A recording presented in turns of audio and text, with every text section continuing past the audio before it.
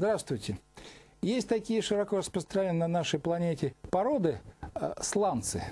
Это э, породы биогенного, как говорится, происхождения, осадочные породы. Вот где-нибудь э, в каком-нибудь водоеме оседал и каменел ил, вот он получилась такая слоистая структура. Сланцы очень, ну, такая поучительная порода. Вот тут такой вот в диком состоянии сланец. Есть сланцы, которые в строительстве используются как отделочный материал. Вы их наверняка где-нибудь встречали. Вот видите, как они красиво друг к другу подогнаны.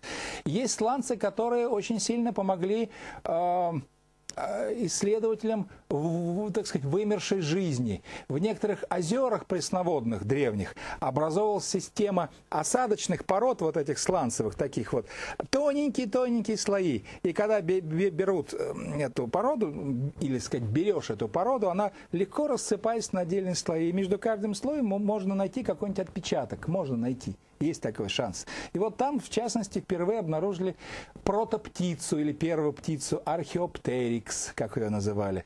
Разные другие замечательные там отпечатались живые существа, которые погибли в этом заиленном э, водоеме когда-то. Так вот, поучительно другое. Есть сланцы, так сказать, горючие – электростанции на сланцах. В Эстонии, в частности, э, в советское время сейчас существуют электростанции, которые сжигают сланцы. В некоторых сланцах содержание э, э, углерода, углеводорода содержащего вещества очень высокое, 30% даже. И вообще есть отдельная такая вот порода, черные сланцы называются, их очень много. Вы сейчас, наверное, слышали про сланцевый газ, который сейчас добывают в США. И вот его добывают именно из таких пород, вот, в которых есть много э, биогенного материала. Так вот, как они образовались, эти сланцевые, э, черные сланцы? Совершенно популярная для нашего времени тема, тема нефтяных разливов. Древние нефтяные разливы не чита нашим – Представляете, огромные, как говорится, сланцевые бассейны, результат образования, э, образовались в результате огромных нефтяных разливов. Вообще нефтяной разлив это для кого-то гибель, ну, для птиц, для рыб, для земноводных, для других обитателей э, вот. А для кого-то праздник, для бактерий.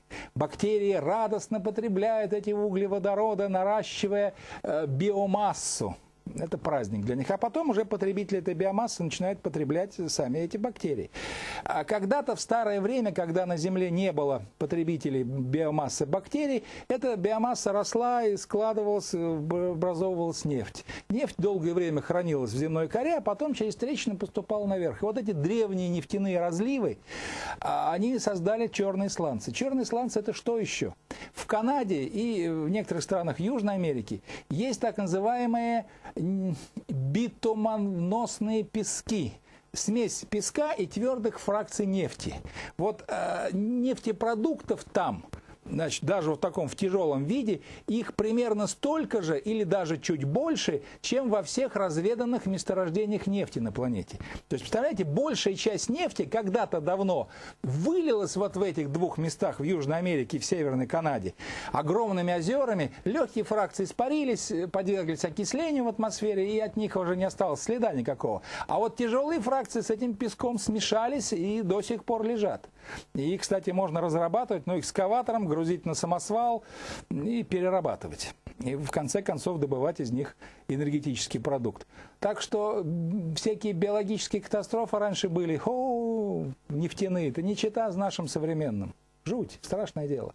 Желаю вам удачи и всяческого благополучия. Всех благ. До свидания.